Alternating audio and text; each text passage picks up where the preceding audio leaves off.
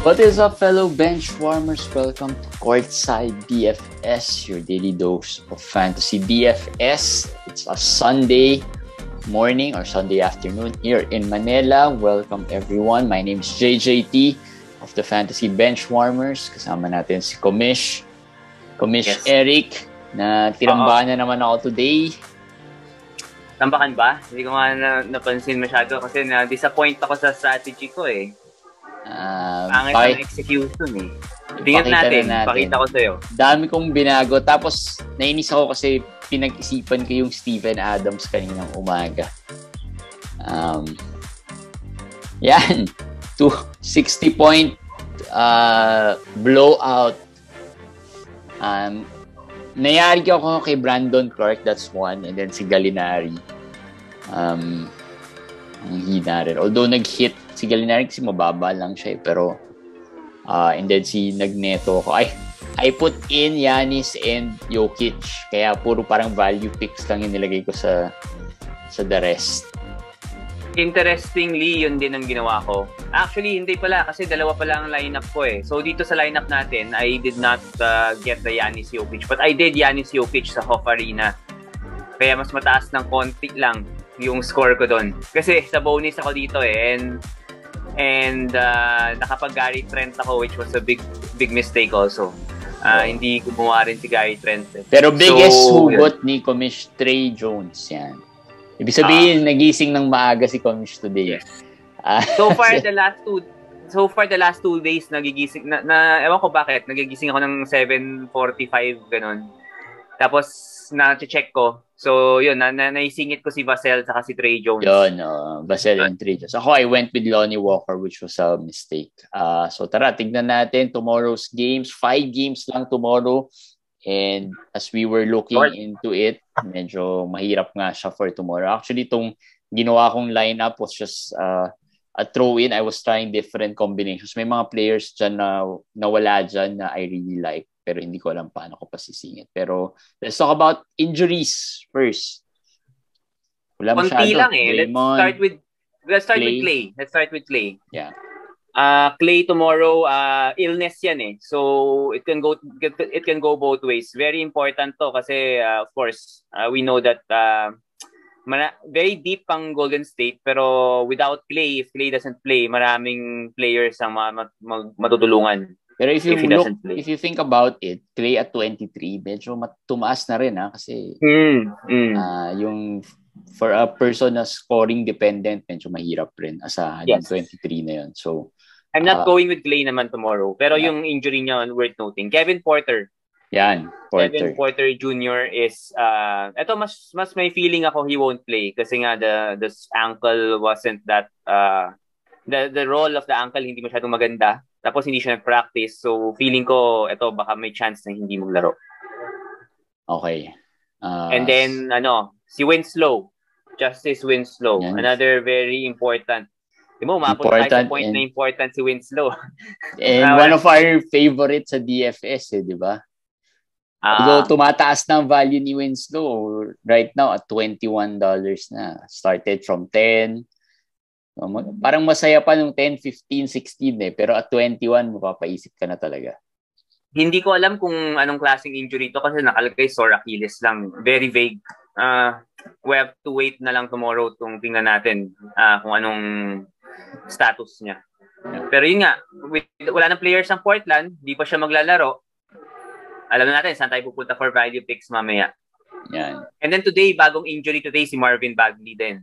Uh, with a sore ankle. Hindi naman nata siya na sprain in the game eh. So, hindi ko alam kung kung ano yon kung ano nangyari. Pero remember na bago siya matrade to Detroit, may problema yan sa ankle eh. Si Yeah. Bagley. So may chance na hindi maglaro din. Okay. So, tingnan natin the games. So, yun lang ba? Wala nang injuries na. Wala na, pero kahapon nag-usap tayo ng back-to-back. Diba? Yeah. And it And marami, today kasi marami. nga, Oo, maraming hindi naglaro. Pero hindi yun in-expect natin hindi maglalaro. Kasi sila naglaro, sila ano eh, si Fred, Fred Van Vliet naglaro. Yung ibang players ng, sino pa ba? Washington naglaro lahat eh. Pero San Antonio yung nag-rest. So, hindi mo masasabi talaga.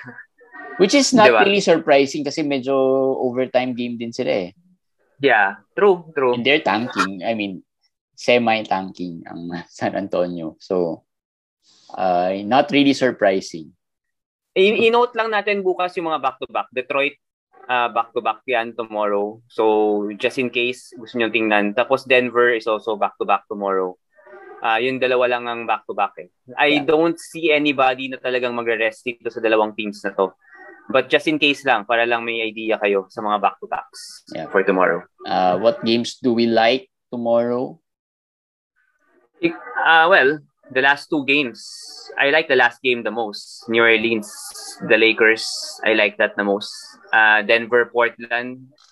Well, actually, I don't like Denver, Portland. Isang tip ko lang sa inyo, yun nga, blowouts. Kailangan natin pansinin ng blowouts. Pag ganitong season na, pag last uh, trivia lang, last two months of the season sa NBA, blowouts, uh, more more chances of blowouts than the usual.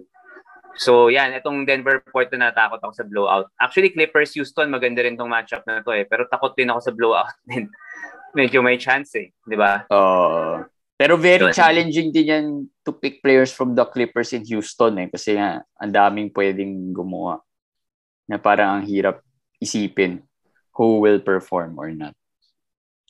Yes, pero yun nga, uh, if it's close, I would like those games. I would like those three yeah. games. I'm I'm trying not to get a lot of players from Dallas and the Warriors, but kung hindi maglaro si Clay, mukhang pwede. Mukhang pwede. Pero that game should be should be defensive, should be playoff atmosphere. So, not necessarily good for the other low-end players fantasy-wise. So, titingnan natin. Yeah. And Detroit Charlotte may blowout potential din yan given that Charlotte is a good defensive team these days. All right, tingnan natin mga players. Uh, top players. Ako, mahirap pumili ng top players because there were so few and little. So LeBron James is the top player. Jokic sana was nice kaso back to back today didn't play well pero um like and like you said baka tambakan. Um, so LeBron James ang isa sa mga picks ko and then LaMelo Ball um, is another player na pinili ko for uh, the top picks ko for tomorrow's okay. games. I agree with LaMelo. Ako, I'm at up in the air pa kasi kung I will pick any of the top players talaga. But uh, for sure yung siguro pay up na rin considered si Ingram saka si CJ no, yung yung dalawa uh, I'm gonna choose one of the two. I think versus the Lakers, one of the worst defensive teams naman at saka faster paced team. Uh, mukhang may maghihit sa nilang dalawa. I'm leaning towards CJ McCollum though, though over Ingram. Especially the Lakers are one of the worst teams defending three-pointers. Just for uh, trivia sa inyo. Yeah. And he's been really hot. So, McCollum. But among the players, the top players na binanggit ni Jeremy, yung Lamelo, I agree with that the LeBron James na burn ako ni LeBron the last time. Eh. So, may ano parang, rin yun eh, no? May psychological effect din yan eh, no? Parang pag ni yeah. gumawa for you, mapapaisip ka na eh. Tapos, the other way around, ganun din. Kaya papansinin nyo yung mga picks ko minsan some of paulit-ulit. Kasi maganda yung pinakita nila. So parang, sige, I'll ride this wave until until hindi na siya gumawa. So may psychological factor din. Pero hindi, ako, ang, ang babanggitin ko kasi dito talaga, kaya ako sinabi lahat yun, I'm gonna go with Steph. Uh, just hear me out, no? Steph has been playing well. The last game, alam ko, marami na naman sinusunog si Steph. The last game, 48, pero easily 60 yan eh kung hindi naging blowout. I think the game will be close. Sabi ko nga, playoff atmosphere. It's not good for for role players, pero for big time players like Steph versus Doncic in a in a nationally televised game, I think he's gonna come out to play. So, yeah, yan. Mag-step ako. Sabihin ko na early on. Mag-step ako. Yan, sige. Um, mid-round mid-range. picks. Mid-range picks. Actually, uh, let's forget about this. Ang gusto ko talaga Miles Bridges, one of the mid-round picks uh, versus Detroit. Uh, lately, Bridges has been okay. So, against a much, uh, I guess, a poorer team, Detroit, baka mag-flip to. Uh, meron pa ako isa yata eh. I check my notes. Josh Hart. Josh Hart is another uh, player I'm looking at. I'm just trying to squeeze them in dun sa combination, pero Josh Hart is another player I'm looking at. Uh, nag-hesitate din ako just because yun nga, psychologically last time hindi siya hit eh. Kaya parang nagdadalawang isip ako eh. Parang do I still take him or hindi? Pero nung nakita ko medyo, yun nga, questionable si Winslow, uh, naisip ko baka he'll take more uh, role, your usage. Yes, I agree. Mukhang wala si Winslow, Hart, and Simons. Possibly mukhang sila ang gagawa. Pero kung wala si Winslow, ah, kung wala. Pero medyo namamahalan ako sa 28. Medyo na Tumaas na, na rin eh. Tumaas na rin. Tumaas din eh. So parang hindi, I might not go to Hart. To be honest, I might not go to any of these $20 players. Eh. 20 to 29. Na nabanggit ko na si CJ kanina eh at 32. So baka yun na yung mid-range option ko eh. I, I don't really see anybody here. Reggie Jackson is 25. That's kind of expensive Taas for me. na, oh. Mataas na eh. Tapos yung Sadiq Bay, yung, yung J- Jeremy Grant, uh, mga scoring dependent kasi to mga to eh. Kaya if they don't score, yun yung problem eh. Yeah. I, I'll go to the 20 and under na lang. Doon ako siguro mas mag ano, mag-concentrate. Sige, simulan mo 20 gonna... and under punahan ko na sa 20 and under yung Terrence Mann. I know, I know, ano ka, worried ka with the Clippers uh, playing a lot of players. Pero it's a good, very good matchup. He played 21 out of the 24 minutes in the first half the last time out. So inisip ko na lang kung tambakan man to, he would probably have already played a lot of minutes. And he's been getting, you know, he's been doing well. So I think Terrence Mann, for me, is a better option than mga 20 plus na nakikita ko sa taas. Uh, Dennis Ikaw. Schroeder, another option yeah. in case wala si APJ. Kevin Porter Jr. Um, should be good. So pero to abang to like uh, hard to roster him pag nandiyan si KPJ. Pero looks like out naman si KPJ so ipila ko na si Dennis Schroeder and maybe another one is actually ito gusto ko isingit one of the Clippers Covington. Uh, sabi mo nga didn't play well against Houston the last time pero I can see yung stocks niya trending up a bit. So if he gets three steals, two blocks, uh, and solid number of rebounding, and kahit na nga 10 points lang, I think still a solid at 18. Yeah, nakita ko meron kang Isaiah Stewart eh. Magkakasunod mga yan. I like Isaiah Stewart also versus yeah, the Hornets.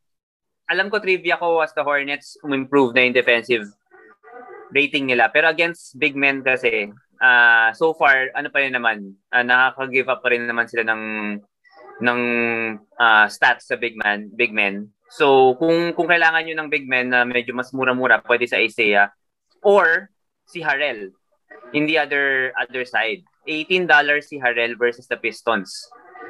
I like that. I like that a lot. Uh, lalo na kung maging tambak to or whatever, madagdagan yung minutes niya from 23 baka maging 26 minutes. Uh, I, I, I like it very much. I think Harrell over na ako dito over Stewart. Pero close eh. $1 lang naman yung difference eh. Yeah. Tapos, isa pang $18, bibanggitin ko si Diallo. Just in case wala si Bagley, hindi... Mahal mo ano, $18 ah, kanina, eh.